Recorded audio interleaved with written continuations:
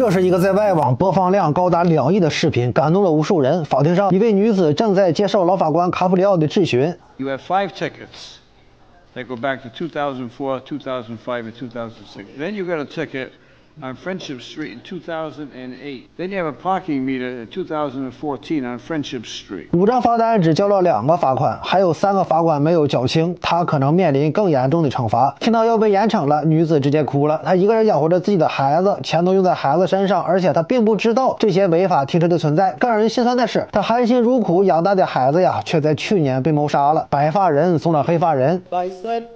Was recently killed last year. 他还哭诉，孩子被杀之后，社会保障局还要他给孩子缴纳保险，他没有缴纳，却被判了违规。他去社会保障局处理违规问题，然后车又违停了，又得交罚款。后来他太穷了，车都没钱修，车速表坏了，然后他超速了，又违法，还得交罚款。接着他因交不起房租，又被要求搬离公寓。他上诉，希望能够宽限他一段时间。就在上法庭的时候，他的上诉被驳回，他得搬家，车又违停了，他没有钱。只能露宿街头，然后去慈善机构寻求帮助。慈善机构的求助审批复杂，他需要很长时间。他为了缴罚单的钱呢，只能去银行将自己卡里的零钱全部取出。取钱的时候，车又违停了，要交一百美金的罚款，可刚取出的钱都不到一百美金呐，这可真是祸不单行。为啥都是福无双至，祸不单行呢？当发生一件坏事之后啊，心里承受不住，状态就会不好，状态不好，做别的事儿就会犯错，就会引来另外一件坏事的发生。可他真的？违法了吗？没法了。但他如此悲惨的处境，根本无法拿出那么多的罚金。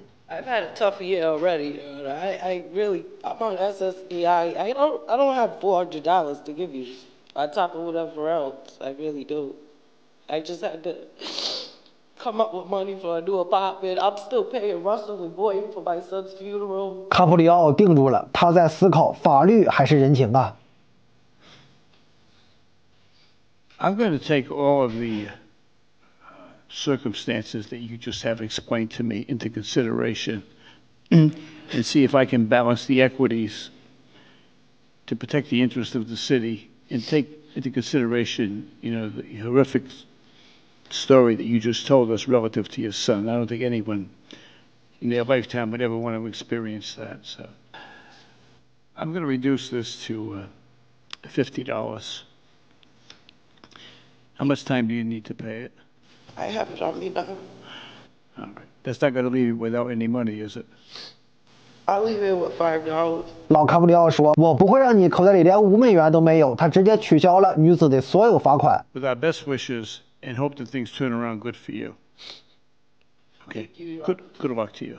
这个视频在网上传播很快，点击量很快就上亿了，卡普里奥也迅速走红。而很多人知道他非常善良、非常同情被告之后，也想利用自身优势让卡普里奥撤销对自己的控告。比如说下面这位丰满的小姑娘啊，她缓缓走了上来，她还戴了一个意大利国旗的这个口罩，因为她知道卡普里奥是意大利的后裔。然后她还说：“你认识我爸爸，咱们都是熟人。” You know my dad, actually. I do. Yeah, Louis Mansalillo.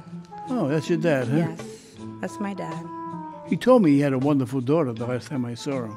Yeah. Must have been you. Well, he, I'm his only daughter, so. Oh yeah. 套完近乎之后，他还开始大肆夸赞卡普里奥和他的助手奎恩都是大帅哥啊。Handsome, handsome, Handsome. So you guys are handsome. Good looking men. Good looking men.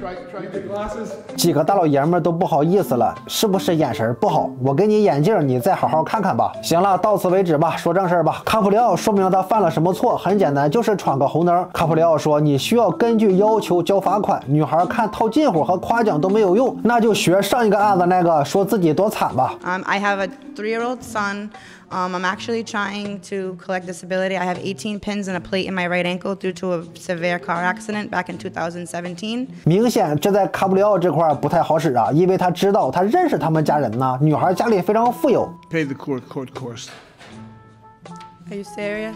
认真的吗？是认真的。看这招不好使，他开始用上我上面有人了。我妈和市长是同学。My mom went to school with him, so 但仍旧不好使，罚款他是交定了。从以上两个案子能看出，老法官卡布里奥是非常明辨是非的，不是一味的就你给我卖惨我就能同情你，还得要实事求是。而他如此明察秋毫又不失人情，跟他的人生经历有着很大的关系。他当法官的第一天就犯下了一个大错。一九三六年，弗兰克·卡普里奥出生在美国，父母都是意大利的移民，家里条件非常不好。老爸早上四点就出去工作，是一名送奶工。在送奶的时候，即使是有家家庭支付不起牛奶费，他还会继续送，然后自己掏钱支付这个费用。当然，他也是看在这些家庭啊都有小孩，他不想让孩子受苦。父亲的品质影响到了卡普里奥了。卡普里奥从小就要做一名律师，父亲跟他说，如果真的成为了一名律师，遇到穷人打官司，绝对不要向他收费。卡普里奥上了大学之后，家里无法负担学费，他就一人打三份工，洗碗、擦车，去给报社送报。凌晨两点就必须起床，他没有见过洛杉矶早上四点的太阳，因为那个时时候他正在低头工作呀。卡布里奥大学毕业之后，担任了市议员。一九八五年，将近五十岁的卡布里奥成为了法官，也不是什么大法官，他只是在他们镇子上处理交通罚单的这个法官。他当法官的第一天就出了一件让他终身难忘的事儿：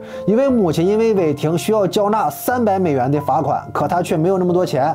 卡布里奥为了树立自己的威信，他觉得法律规定如此，你交不上跟我什么关系呢？于是强硬的判定这位母亲必须在规定时间内交足罚金，要不然就会得到更严厉的惩罚。他的行为被父亲知道了，父亲严厉地批评了他，并跟他说：“你是一名法官，有确定他人有罪无罪的权利。虽然只是交通问题，却可能因为你的判罚而影响此人的一生。他们虽然犯了错，但他们都是活生生的人呐。”卡布里奥觉得父亲说的对，从此以后他就再也没有如此鲁莽过。卡布里奥有温度的法庭从这一刻也就开始了。前些年，卡布里奥的小舅子要拍一些纪录片，于是就把镜头对准了自己的姐姐夫，将卡布里奥的法庭内容拍摄下来传到网上。本来枯燥的法庭审判，却因为卡布里奥的温情和善良、幽默变得非比寻常，流量蹭蹭的。最高单支视频更是有两亿左右的播放量。卡布里奥一下火了，视频更是三度入围了艾美奖。一位索马里的粉丝竟然想送他一匹骆驼，可非议也随之而来。法庭那是公家的，你自己拍摄法庭内容，然后走红，收益那都落在自己口袋了。据说就流量收益每年都超超过十万美金，换算成人民币那就是七十多万，算不算是公器私用呢？市议会对此事进行了调查，当地的州政府啊，在二零一五年就同意大众拍摄法庭内容。他小舅子算大众吗？那当然算了，那就没有问题啊。此事一出，虽然最后市议会说明他没有犯错，但卡布里奥也觉得自己的名誉被玷污了，于是他选择了辞职。当然也是因为自己年龄太大了，都八十多了呀。辞职之后，他转向了公益，他以他父亲之名成立了奖学金，帮助家庭困难的学子完成学业，自己也往里搭了不老少钱呢。卡布里奥曾经说过，他非常幸运取得了一点成就，但只有自己爬上成功的阶梯是不够的，如果有能力，也要为别人搭建通往成功的梯子。二零二四年，八十八岁的卡布里奥啊，被诊断胰腺癌了。他接受了华人医生张玉娇的治疗。张玉娇在九月一号发微博称，卡布里奥接受了放疗，目前状况良好。最后，我们祝他战胜病魔，继续为这个世界带来善意与温暖。秦伟观，镜子马国林，咱们下期见。